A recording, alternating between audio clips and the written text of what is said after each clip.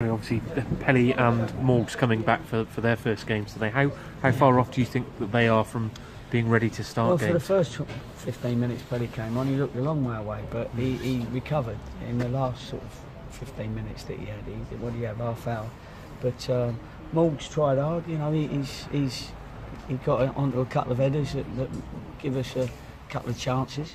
Um, so none of them are ready to start yet, um, unless they have a really good week this week. But uh, we, we need, we, we looked, they're the part-time team, and to be honest with you, on the day, they look fitter than us. Yeah. And I was, I'm, you know, I was, I was a bit annoyed about that. So, uh, of course, you know, they'll, they'll be doing a little bit running this week just to show them that actually there was more in them. Yeah.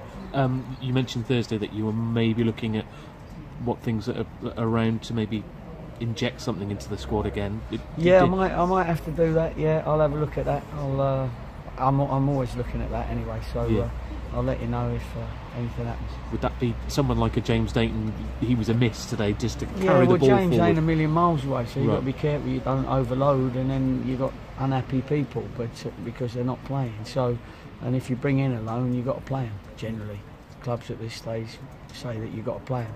So, uh, I don't want to do that just yet. This like these lads, with nine games to go, has got us two points clear at Yeah. the top. Do you know what I mean? So. Uh, Let's not get too. I'm only telling, being honest with you, but I, it's not me slashing my wrist or giving up the ghost. Yeah. At the start of the weekend, you'd have uh, been happy with being a point further clear from Forest Green, I suppose. No, I would rather be four points further clear, but Yeah. as it turns out, it's only two, but keeps you on your toes.